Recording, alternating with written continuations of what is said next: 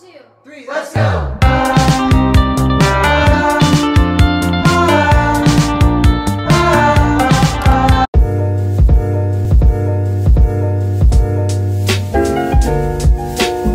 This is a tutorial on how to do Emma zoom in. So first of all, get your clip and then just split it. So then you should have three clips.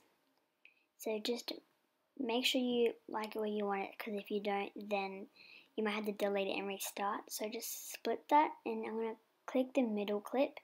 I'm going to press the zoom up button in the right hand corner and I'm going to zoom up on her face or the object and look like that. So it's actually so easy and this is another example. So just split your clip and here I'm just doing it where I want so that I, I can be exact. Split that, cl click the middle one, zoom in and that's really it. So looks like that and I hope you guys enjoyed and next video is going to be how to make a Roblox intro. So I hope you guys enjoyed.